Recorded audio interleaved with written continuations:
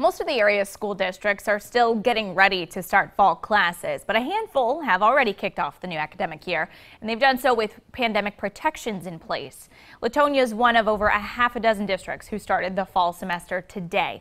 In order to socially distance the students, half of the kids are in class today and Wednesday. The others will be there tomorrow and Thursday. All students will study from home on Friday then.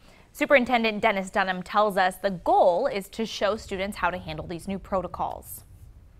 Our staff has just done a phenomenal job.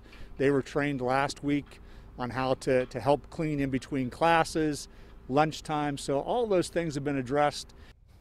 Dunham says roughly about 30% of the students initially chose to do all of their learning virtually. He hopes that they'll be able to bring divided classes together after Labor Day, but that's if everything goes smooth up until then.